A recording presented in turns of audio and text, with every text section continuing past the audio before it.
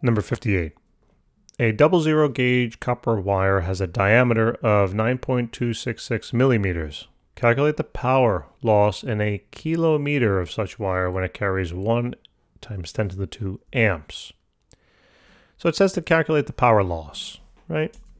So it wants to find the power lost when it's carrying 1 times 10 to the 2 amps. So what we can do is simply this. We can now take the power and realize that that is equal to the current that's flowing through it multiplied by the resistance. So I they gave us a current that's flowing through this particular wire, right? So I know that this is going to be basically power is equal to, and 1 times 10 to the 2 is 100, right? So this is essentially 100 squared multiplied by R, all right?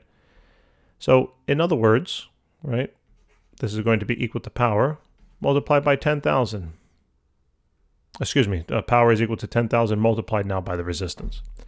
So what I need to do in order to figure out the power loss, is I got to figure out, well, how much resistance was there? Right? How much resistance was there? If there is no resistance, if resistance is zero, what's then the power lost? Well, it's zero.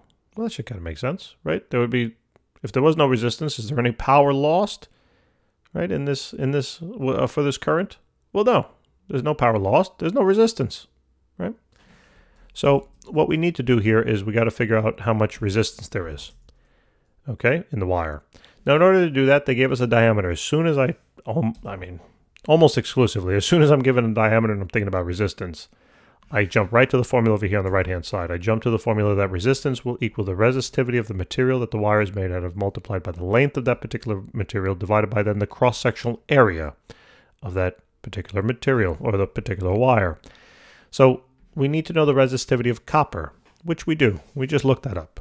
Right, that's going to be 1.72 times 10 to the minus 8. The length, they told us a kilometer, but you know we don't need that in kilometers, we need that in meters, so that's a thousand meters, so plug in that, okay?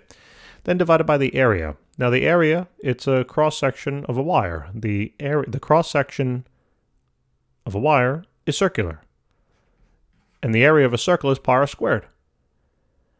Now, they didn't tell me diameter. Uh, excuse me, they didn't tell me radius, but they told me diameter. But we know the relation between diameter and radius, right? What we simply can do then is, why don't I just, I think it's easier, let's just divide this by 2. All right? So we get 9.22, 9.22, uh, excuse me, 9.266 divided by 2. So I get about 4.633. Now remember, that's 4.633 millimeters. That's equal to the radius. But we don't need that in millimeters, we need that in meters. Okay? So just simply multiply that by 1,000. All right, what I'm going to do is I'm just going to tack it on in the formula, you'll see. So then divide that now by pi, multiplied by our radius. So this is 4.633 times 10 to the minus 3. Did I say multiply that by 1,000? I don't remember. I meant to say divide that. I, am not sure. I'm not sure because I can't remember the past 10 seconds. So um, if this is millimeters and we need that in meters, you're going to be dividing that by 1,000. I don't know if I said that correctly, but I am saying it correctly now.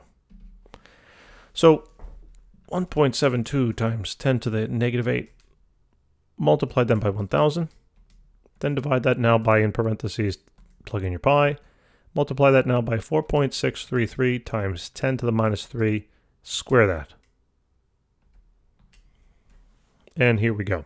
So the resistance here in the wire is going to be 0.255. Right? Ohms. That's the resistance. So whatever this resistance is will result in the power being lost via this formula right here. Boom. Just plug it on in. So power will then be equal to 10,000 multiplied by 0.255. So this now becomes uh, 2,550 watts. Okay, that's how much power would be lost now. And um, yeah, that takes care of that. So hopefully that makes sense. All right. So guys, thank you so much for tuning in. I appreciate it. Please remember to help us out and subscribe. Tell your friends, hit that like button. And um, yeah. Sure. All right. Thanks. Be well.